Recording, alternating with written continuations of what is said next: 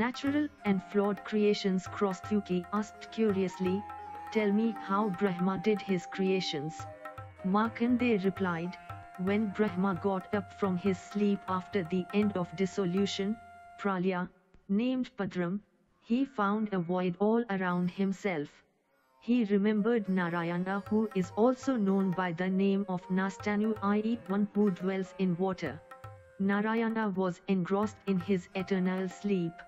After waking up, he rescued the earth, submerged in the ocean just like he had done in the previous kalpas by taking the forms of a boar, a fish and tortoise etc. But even after the earth was brought up from the seabed and was established above the ocean, it was still swinging like a boat. Narayana then created the mountains to stop the earth from swinging but the mountains were burnt down by Agni, fire, named Samvartak. The mountains submerged into the ocean. The mountains after having displaced the water had become fixed at their respective places. Therefore, Narayana divided the whole earth into seven islands and created the four lokas just like before. After that, five avidyas came into being. This way, the whole creation established themselves in five ways. The whole creation was hidden in darkness till this period. After this, Narayana created the ignorant animals, which symbolized the tamas guna. After the animals the deities who symbolized the sattva guna were created. Brahma was extremely satisfied by the creations of Narayana but he was desirous of creating even more superior creatures. As a result a group of sadhakas named Avaksrota came into being. These sadhakas were humans who possessed Rajas Guna. The fifth creation of Anugraha was itself subdivided into four parts Viparya, Siddhi, Shanti and Shrishti.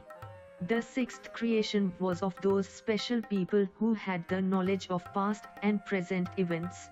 These people had wives, enjoyed life in a balanced way but were of evil nature. These people were known as Bhutadik. The first creation was related with the manifestation of Lord Brahma himself. This great creation was known as the Mahashrishti. The second creation related with the part of Brahma is called Bhutsaga. The third creation is called Prakrit and which consists of creatures possessing intelligence and flawed sensual perceptions. The fourth creation consists of the Sthavars who are unable to move, e.g. vegetation. The fifth creation consists of four-footed animals.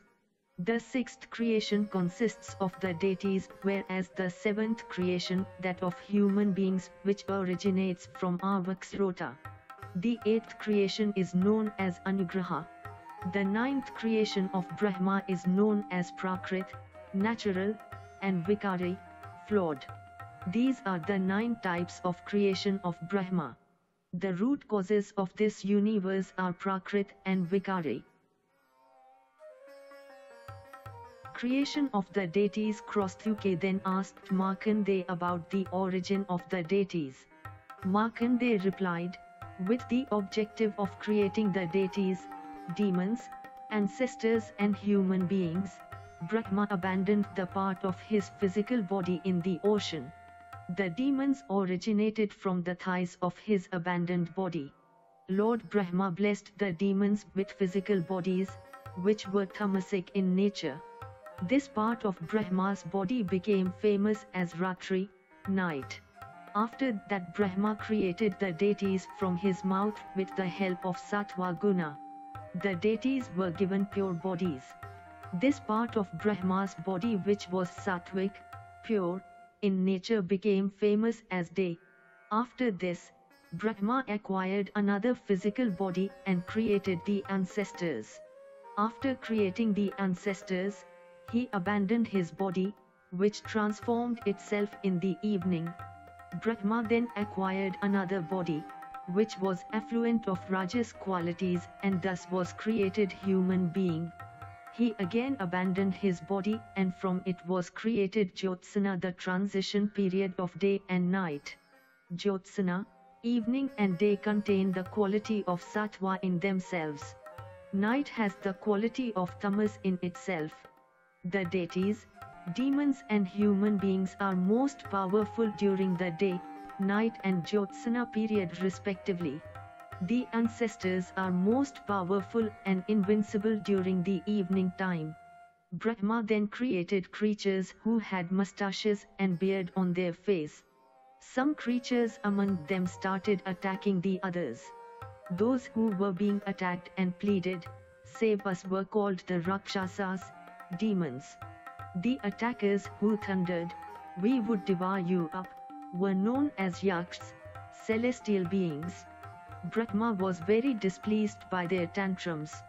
Some of his hair fell down on earth and thus were created the snakes. The flesh-eating ganas were next to be created. These ganas were extremely volatile in nature. After that, Brahma created the Gandharvas. This way after having created these eight types of divine creation, Brahma created all the animals and birds from his body. He created the goat from his mouth, lamb from his heart, cow from his stomach and back, animals like horse, elephant, donkey, rabbit, deer, camel and mule were created by Brahma from both his legs. Variety of vegetation and medicinal plants were created from the hair of his body. Brahma then created the following things from the first of his four mouths Gayatri, Tririk, Trivrit, Sam, Ratanta and Agnishtam. From his mouth facing south, he created Yaja, Treshtamchan, Panchadashastam, Vrithasam and Ukta. From his mouth facing west, he created Sham, Jagatichan, Panchadashastam, Varup and Atiritra. From his mouth facing north, he created 21 Athava, Aptayam, Anushtubha and Viraj. In the beginning of Kalpa, Brahma created the natural things like lightning, Vajra, cloud, rainbow and birds. After that he created the deities etc.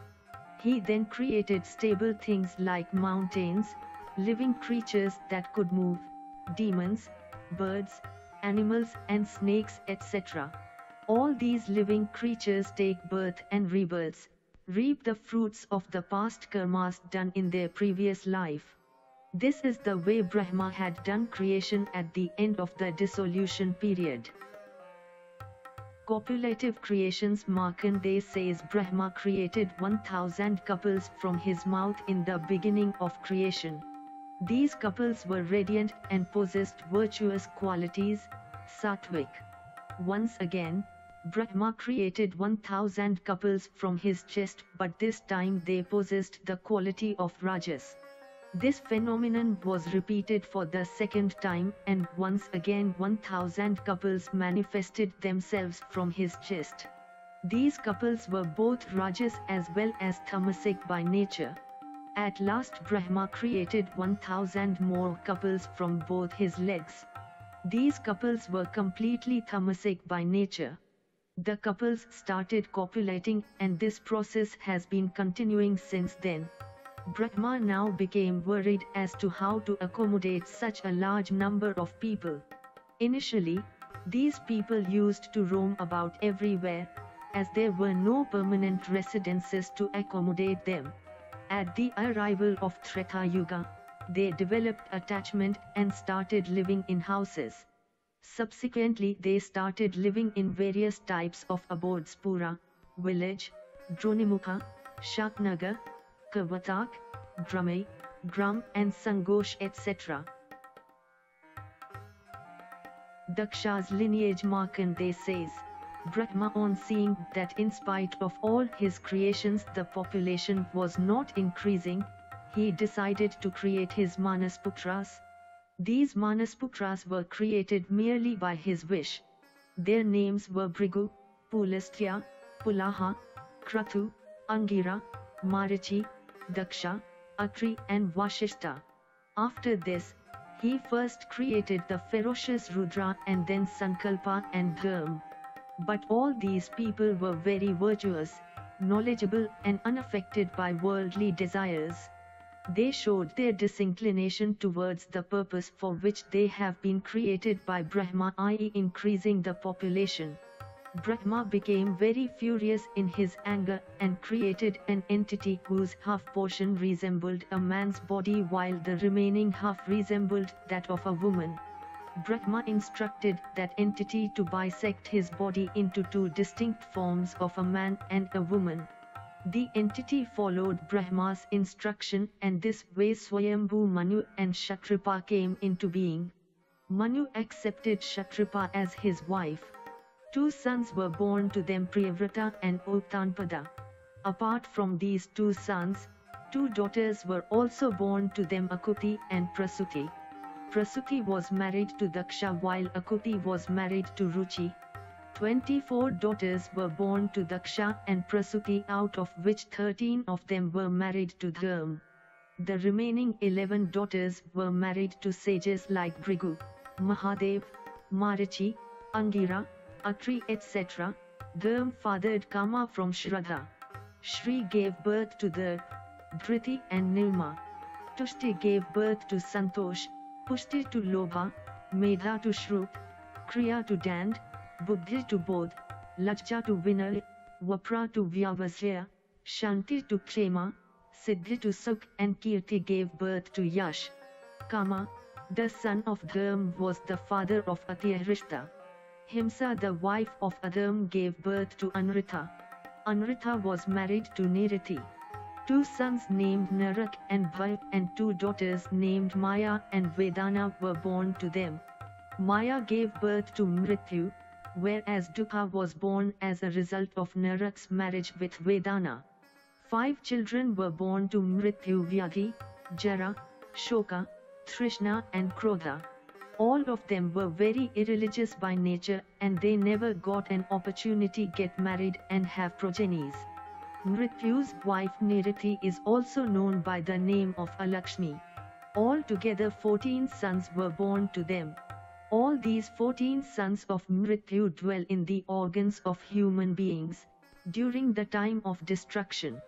Out of these 14 sons, 10 dwell in the sense organs of human beings and the 11th son dwells in the mind.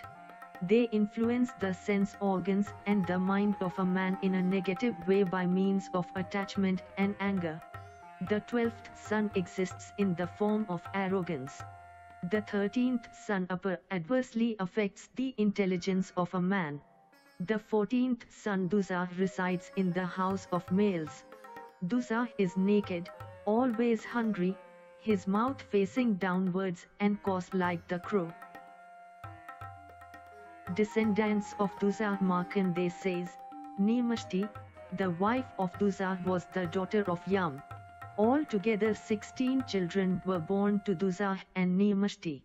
Out of them 8 were sons and the remaining 8 were daughters.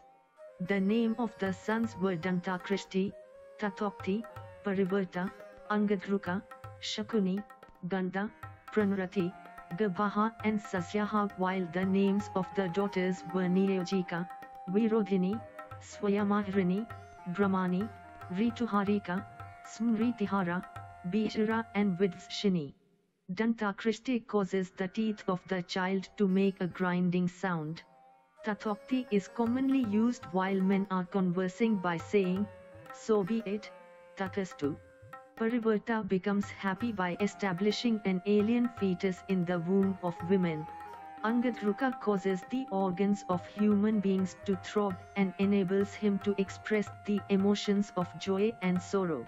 Shakuni resides in the bodies of birds like crow and animals like dog or fox. Ganda destroys all the virtues. Gabhaha destroys the fetus in the womb of a woman while Sasyaha destroys all kinds of wealth.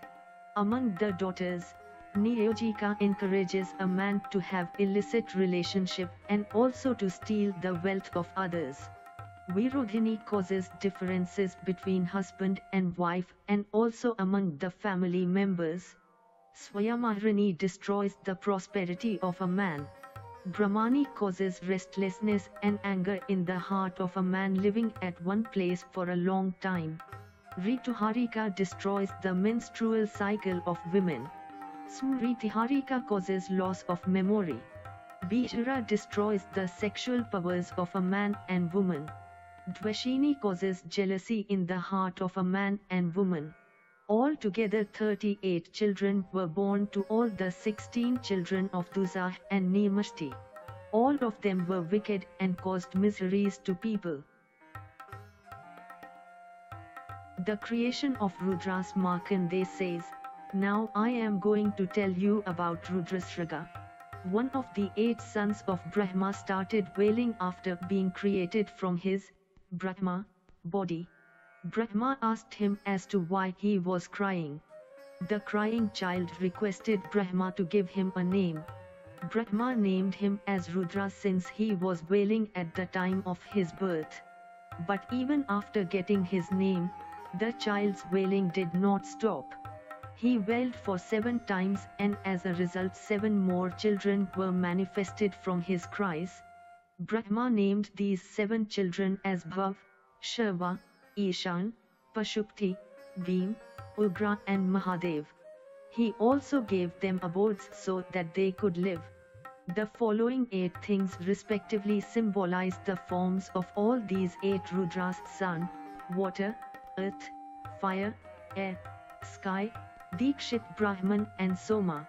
All these eight Rudras were also given their respective wives who were Suvachala, Uma, Vikeshi, Swadha, Swaha, Dik, Diksha and Rohini.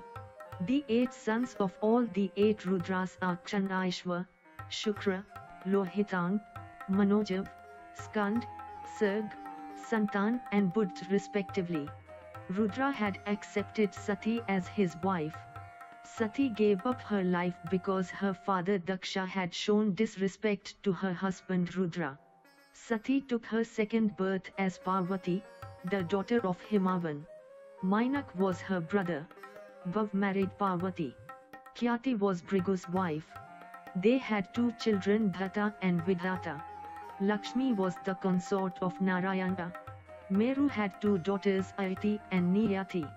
Both of them were married to Dhata and Vidata respectively. Each one of them had two sons, Ayati had named her son as Pran while Niyati named her son as Mrikandu. The same Mrikandu is my, Markande, father. My mother's name is Manaswini and my son's name is Vedashira. Sambhuti the wife of Marichi gave birth to Pawnmas. Smriti the wife of Marichi gave birth to four daughters Sinivali, Kuhu, Raka and Anumati. Ansuya, the wife of sage Atri gave birth to three sons Soma, Durvasa and Dattatreya. Dut and Damboli were born to Preeti, the wife of Pulastya. He became famous as Agastya during the time of Swayambhuva Manavanta. Three sons Kadam, Avavir and Sahishnu were born to Kshama, the wife of Pulaha. Sanneti, the wife of Ritu gave birth to 60,000 Balkilyagandas. Urja the wife of Vashishta gave birth to seven sons Raja, Gatra, Urdhvahu, Sabal, Anag, Sutapa and Shukra. These seven are famous as the Saptarishis. Agni was married to Swaha. Three sons were born to them Pavak, Pavaman and Shuchi.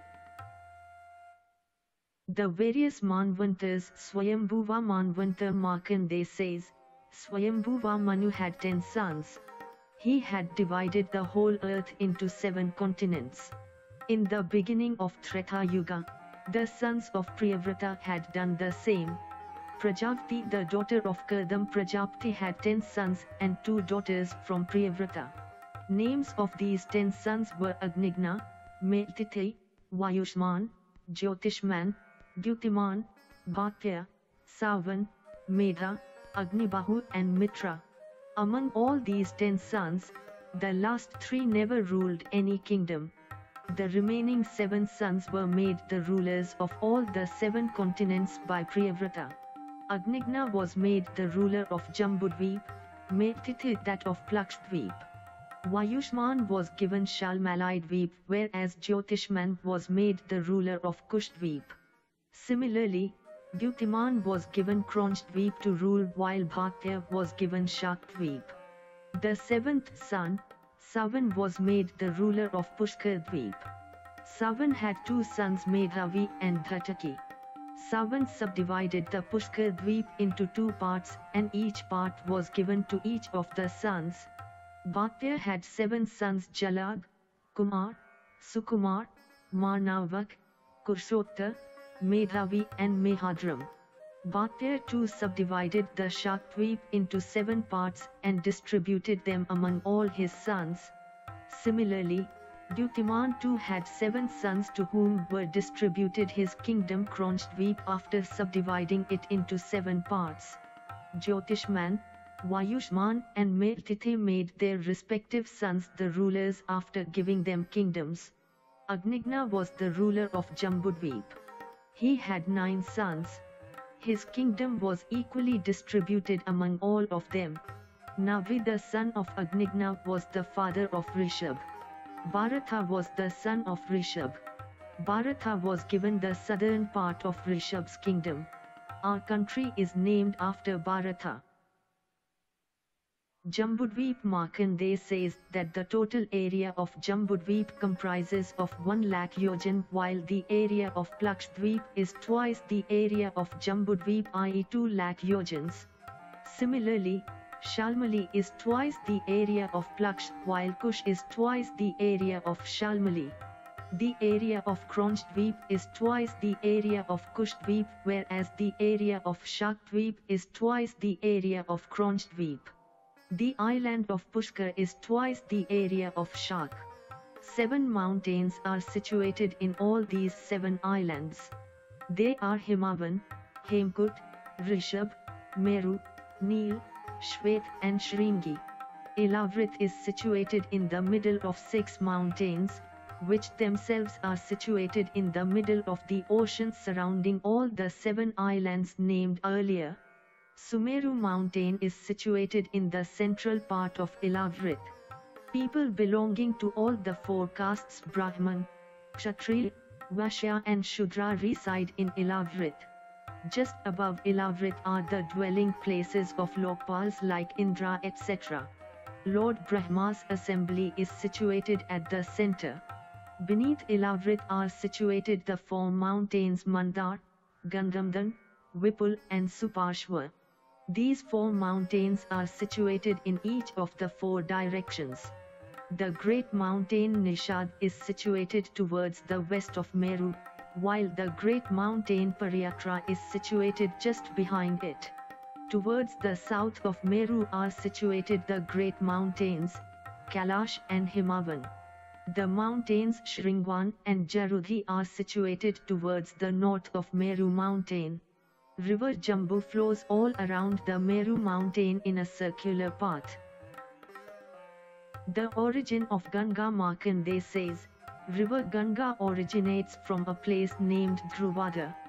This particular place is related with Narayana. River Ganga, then falls on the Sumeru mountain and gets distributed into four main streams. One of these streams flows towards Chaitrata forest. The name of this particular stream is Sita. The same Sita Ganga enters into the Varunoda reservoir and from there, it moves towards the ocean and again changes its course to get submerged into that stream of Ganga, which has fallen on the Gandhamdhan mountain and which is known as Alaknanda.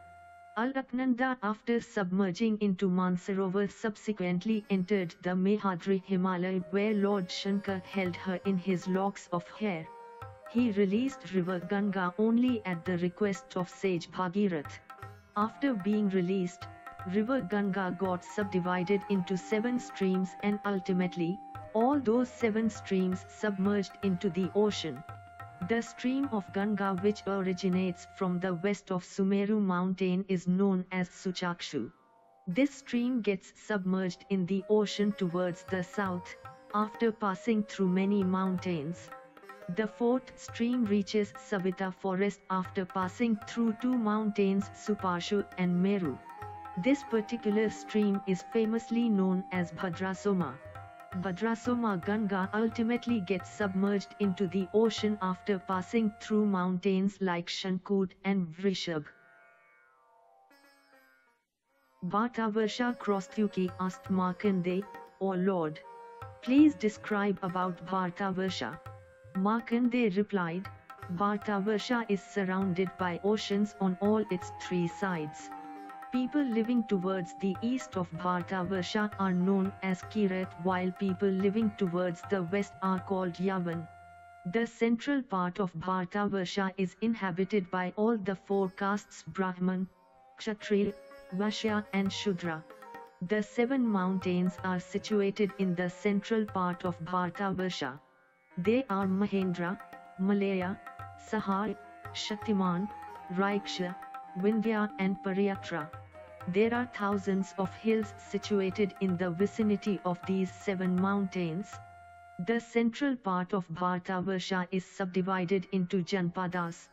The residents of these Janpadas are known as Mlecha and Arya.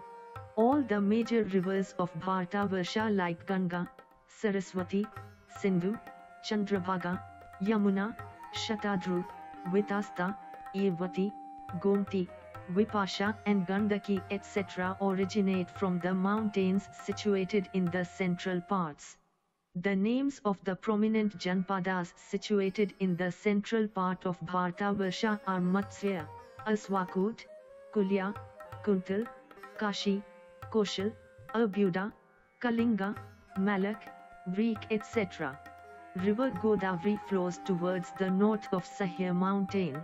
A city named Govardhan is situated near this mountain. Some other prominent places situated in the vicinity of this mountain are Bahalik, Vatgan, Amir and Kaltoyak.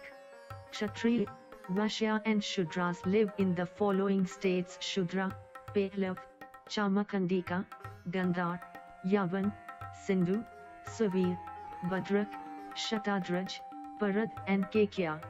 The following states are situated in the north of Bhartavarsha Tamas, Hansmad, Kashmir, Shulik, Kuhak, Arna, Dewa etc. States like Abrarak, Mugarak, Antagiri, Plavan, Mail, Damal, Vertik, Uktabrahma, Pragajyotish, Madra, Videha, Tamraliptak, Mallar and Magad are situated in the east of Bhartavarsha.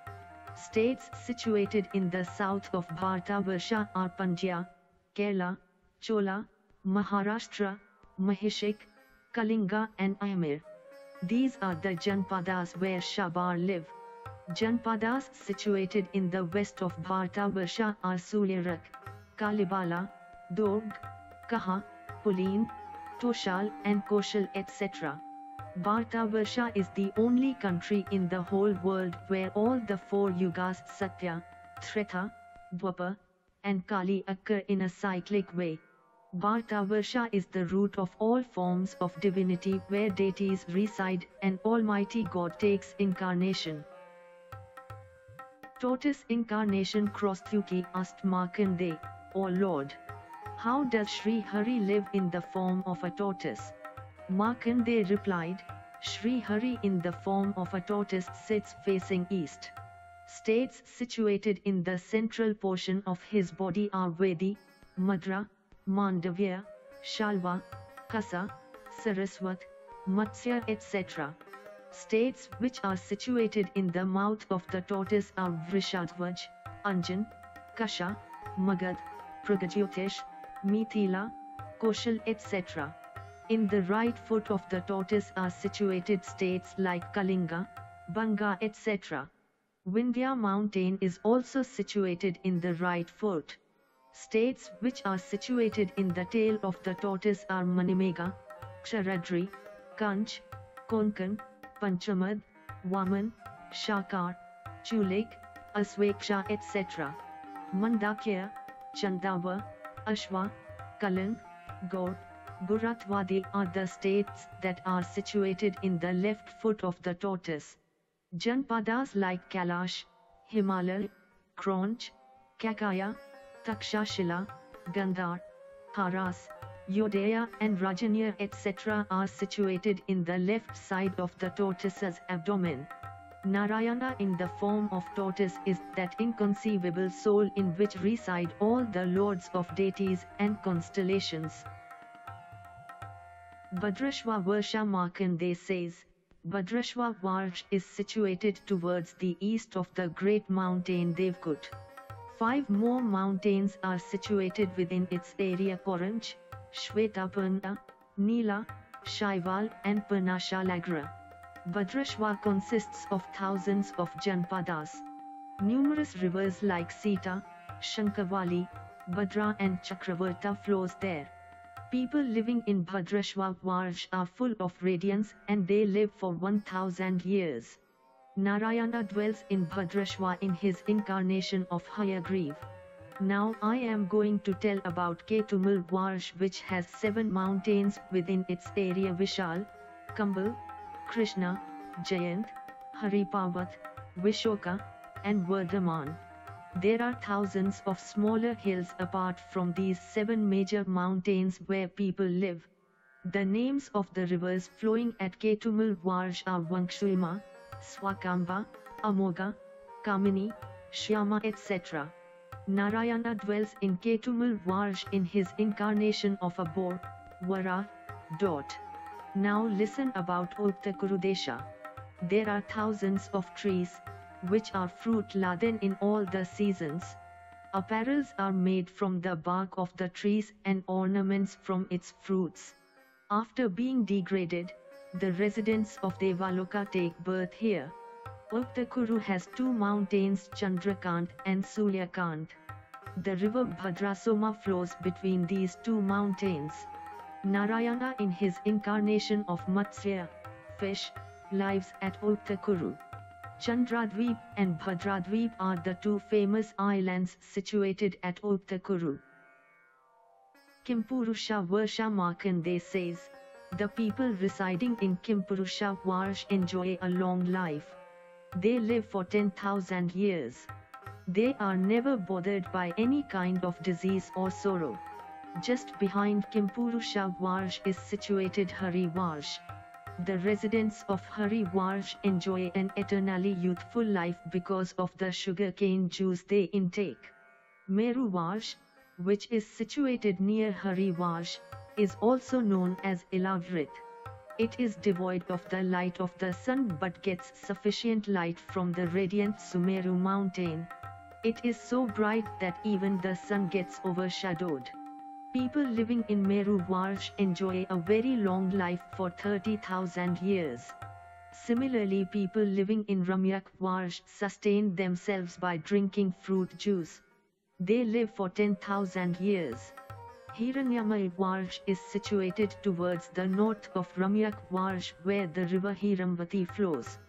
The residents of Hiranyamai are powerful, rich and handsome in appearance. Swarochish Manvanta Krostyuki asked Markande, O oh, great sage. Now tell me something about Swarochish Manavanta. Markande replied, Once upon a time, there lived a Brahman at the bank of river Varuna. One day, a guest arrived at his place. The Brahman treated his guest with due respect. After formal introduction, the Brahman became aware that his guest was not an ordinary person. He had traveled around the world with the help of some special mantras he knew and medicinal herbs, which he had in his possession. The Brahman was quite impressed. He too wanted to see the whole earth. He requested his guest to give the mantra and the medicinal herbs so that he could travel around the world just like him. The guest applied some medicinal solution on his legs. After this the Brahman went to see the Himalaya mountain. While wandering there, the solution, which had been applied on his legs, got washed away. As a result, he now became immobile. He started looking all around himself. He found numerous apsaras entertaining the Kinnars, Gandharvas and deities. The Brahman was very much pleased to see the happy atmosphere prevailing all around Himalaya. He thought of going back to his place but was unsuccessful, as the medicinal solution had been washed. He became very sad. An Apsara by the name of Varudhini saw him in a miserable condition. She became infatuated by him. When she went near him, he asked, Who are you? Who is your husband? What are you doing here? After this, he narrated his own story and said, I had come from Arunanagar to see the Himalaya, but I am unable to return home as the medicinal solution, which was applied on my legs has been washed. Varudhini told the Brahman that she was an Apsara. She also expressed her deep love towards the Brahman. She requested the Brahman to stay there and not to go back home. She assured him if he did, as per her instructions then he would enjoy an eternal youth. He would never become old. Varudhini forcibly tried to embrace the Brahman. This made the Brahman very angry. He said, Varudhini. The sacred scriptures prohibit a Brahman from indulging in sensual pleasures because it gives sorrow not only in this world but also after his death. But Varudhini was not satisfied by his answers. She threatened to give up her life if the Brahman did not marry her. The Brahman did not agree. The Brahman purified himself by performing achaman and began worshipping Agni. He said, O Agni, you are the root cause of all karmas. The deities bless us with rain only after you are pleased. O Agni, I need your blessings. I want to go back home. Varudhini's modesty breached Markandeya says, Agni became pleased by the Brahman's devotion. Agni entered into his body. The Brahman's body illuminated due to Agni's radiance. When Varudhini saw this, she was fascinated by the Brahman's appearance. The Brahman proceeded towards his home. Feeling helpless, Varudhini cursed her fate. Varudhini had once insulted a Gandharv named Kali sometime in the past. Chancing upon the opportunity, Kali went to Varudhini take his revenge. He had disguised himself as a Brahman. When she saw him, she said, I need your protection if you heed to my request then you will certainly attain virtuosity. Kali did not want her to know about his real identity, so he replied, If you really want my protection, then you must have your eyes closed while having copulation. Varudhini agreed.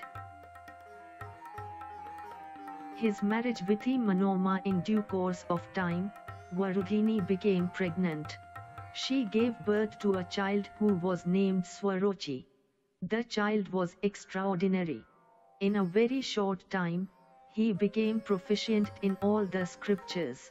One day, young Swarochi saw a terrified girl near the Mandar mountain. When the girl saw Swarochi, she pleaded for help. Swarochi assured her and asked about her identity. She said, My name is Manoma. Once I had made fun of a sage who was doing penance near the Kailash mountain. At that time, two of my companions Vibhavari and Kalavati were also present with me. The sage cursed all three of us. Vibhavari and Kalavati got inflicted with leprosy and tuberculosis due to his curse. Even I was not spared. I am being chased by a ferocious demon since then. I need your protection from that demon. I am giving you this very powerful weapon with which you can successfully kill the demon. Swarochi took the weapon. During the conversation between Swarochi and Manoma, a demon arrived just then. The demon wanted to devour Manoma. Swarochi was confused, as he did not want the sage's curse to go futile. He allowed the demon to get hold of Manoma, who then started wailing. Hearing her wail, Swarochi thought of killing the demon. Becoming afraid, the demon released Manoma from his clutches and pleaded Swarochi to spare his life. He then narrated his own story.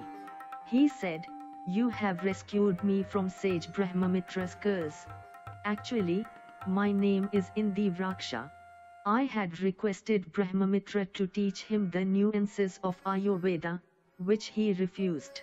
I decided to learn Ayurveda while sage Brahmamitra taught his disciples by hiding myself.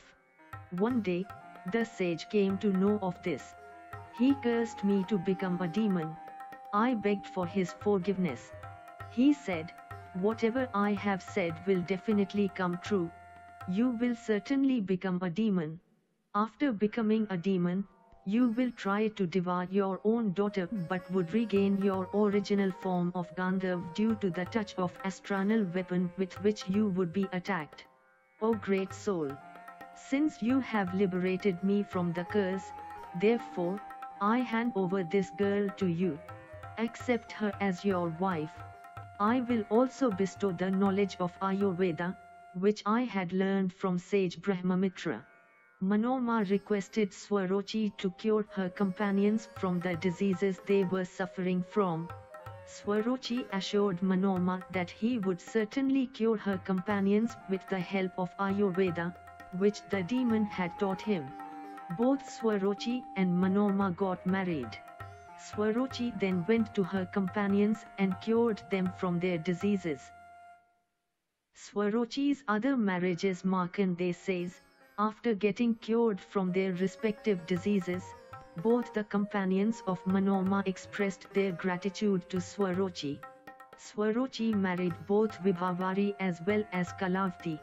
To show her gratitude, Vibhavari taught Swarochi a special art that helped him to understand the language of all the living creatures.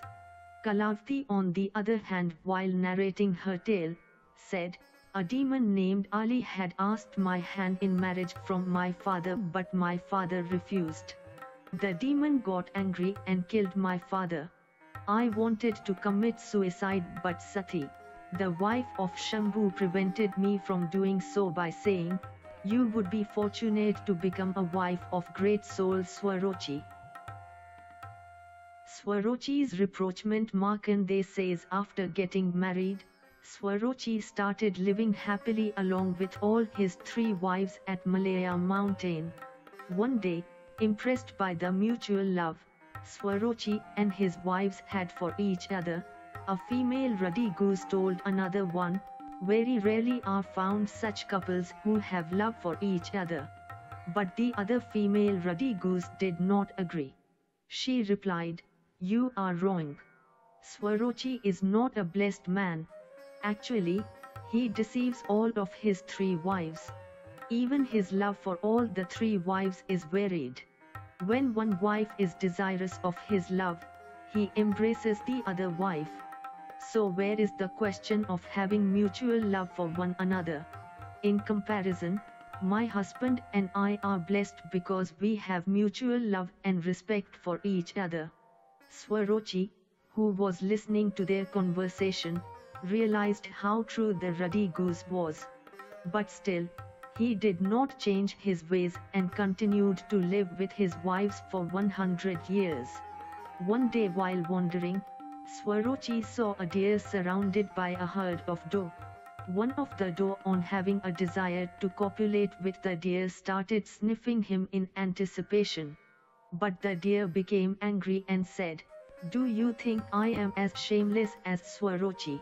A man, who is sought by numerous beauties, his condition becomes laughable.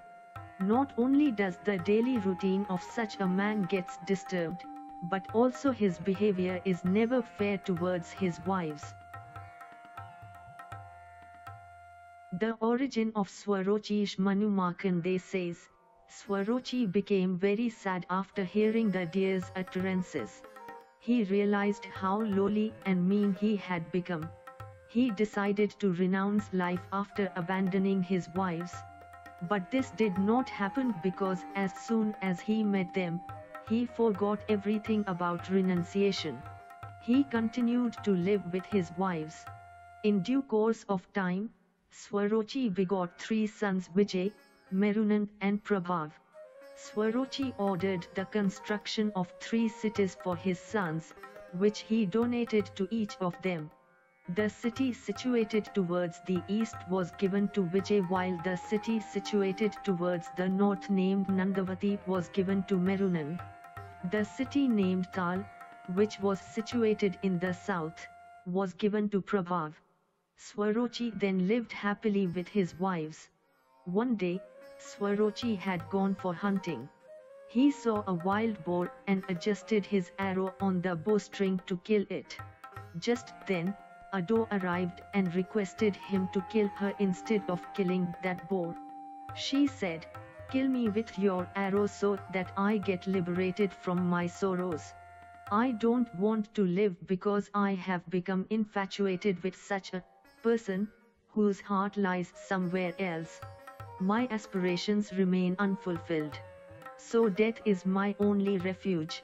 Swarochi was very much amazed. He asked, Who is that fellow?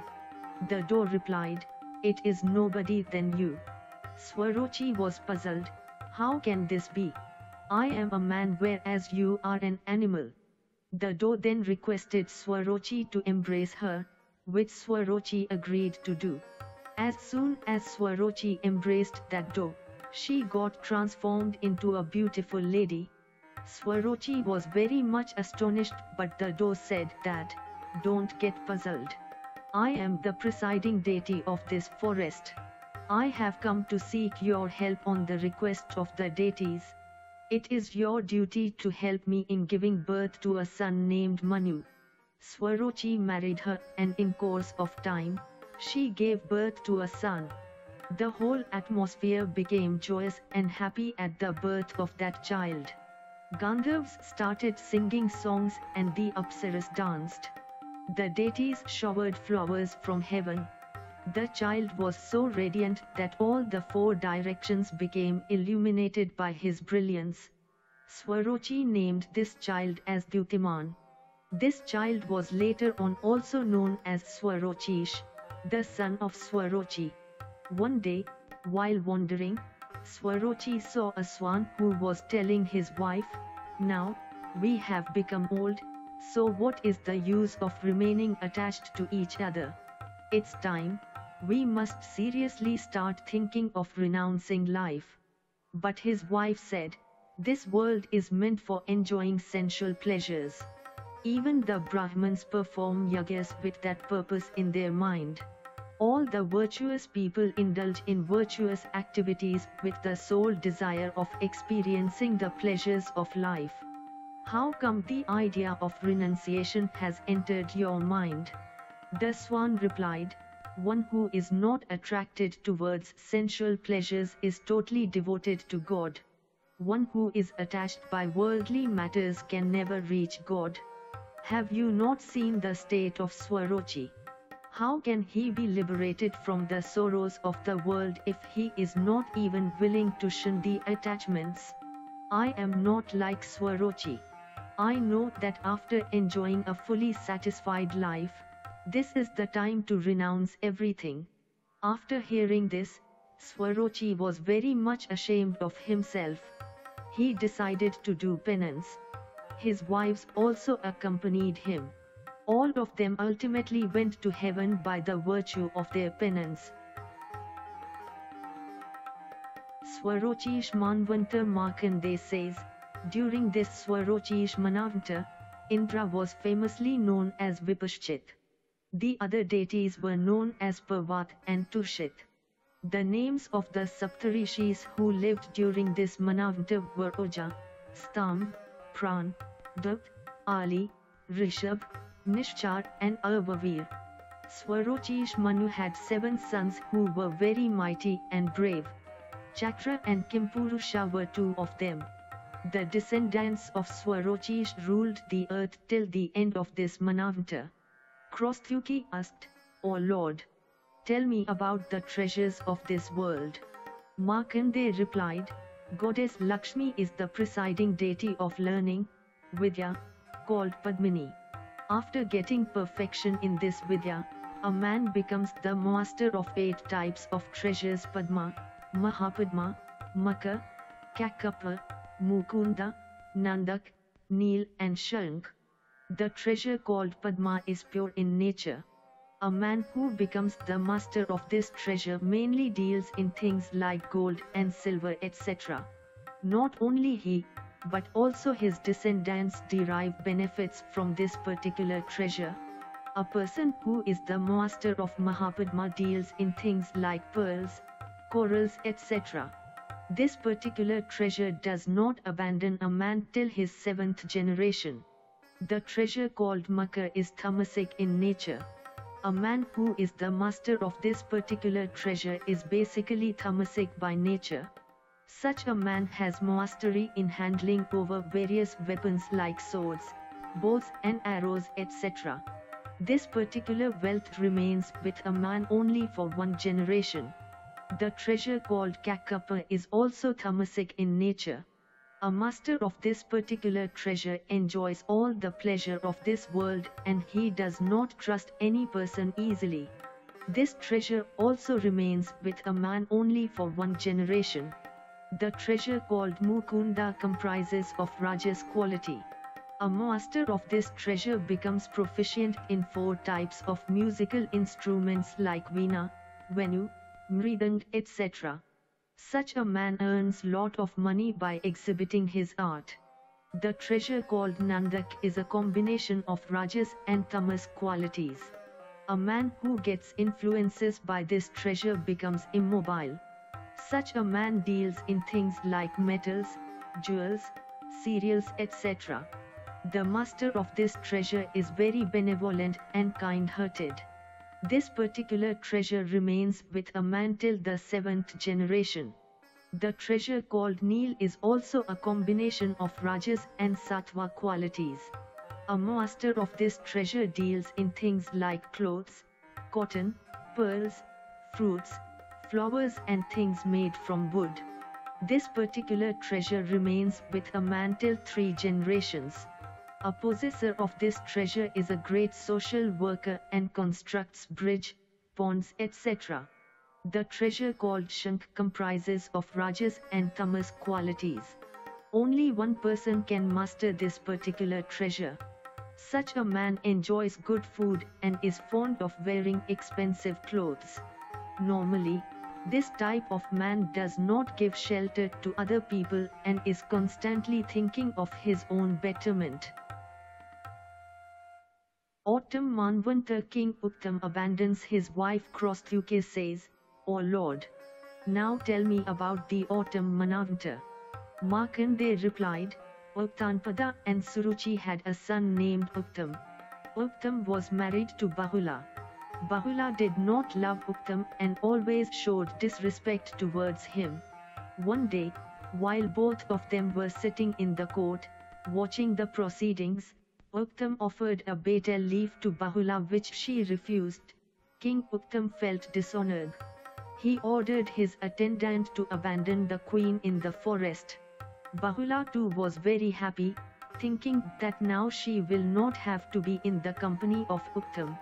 This way, Bahula was taken to the forest. One day, a sad Brahman came to Uttam and said, O king! Somebody has abducted my wife. I need your help in finding out my lost wife. Uttam asked the Brahman about the nature, physical construction and about the age of his wife. The Brahman revealed all the facts related with his wife. The king was not impressed. The facts, which the Brahman had furnished, went to prove that his wife was not a chaste lady, the king expressed his view about his wife in so many words. He said, What is the use of having such a wicked wife? Forget about her. I will give you another one with all the good qualities. The Brahman replied, O king! It is one's duty to protect one's wife no matter how wicked she may be. By protecting your wife, your children also get protected. A man who does not protect his wife, has a son of hybrid class. His ancestors are degraded from the heaven because of such type of sons. I am not able to perform my religious obligations because of the absence of my wife. O king! Please help me. While searching the Brahman's wife, King Uttam saw a sage at a secluded place. When the sage saw King Uttam, he wanted to offer some arghya, some type of offering, to him, which his disciples prohibited him from doing. Then, the sage changed his mind and offered his seed to the king. The king asked about the reason why he changed his mind of offering the arghya.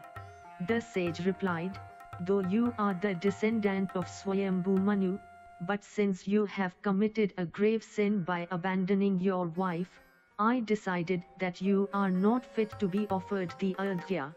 No matter how mean your wife is, it is your duty to protect her at all costs. King Uttam was very ashamed of himself. He asked the sage about the whereabouts of the Brahman's wife.